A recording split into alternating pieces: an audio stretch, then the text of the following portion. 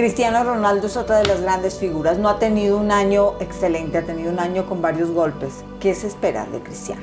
Ya termina su ciclo. Mire, ya está terminando, no porque sean viejos ni no puedan, no. Uno tiene ciclos y uno tiene que saberlo cerrar con dignidad. Y parece que eh, él ha sabido entender muchas cosas y sabe que ya terminó su ciclo, que lo cierre con, con broche de oro.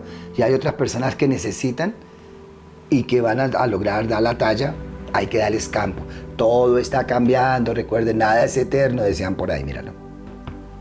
Bueno, grandes oportunidades, vienen cosas bien, bien buenas, pero él tiene que cambiar. Yo no sé quién lo asesora a él o con quién está o cómo está, pero va a tener como conflictos con las personas que lo patrocinan o lo dirigen, ¿no?